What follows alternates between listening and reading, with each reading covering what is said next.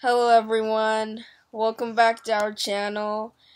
I'm going to recite a memory verse from John 14:1. And it says, "Let your heart not be troubled. Believe in God, believe also in me." So, the message for you today is if you're struggling, just believe in God and He'll help you in your situation. Thank you for listening. Subscribe right here and watch more of our videos right here. And see you in our next video. God bless and have a happy day.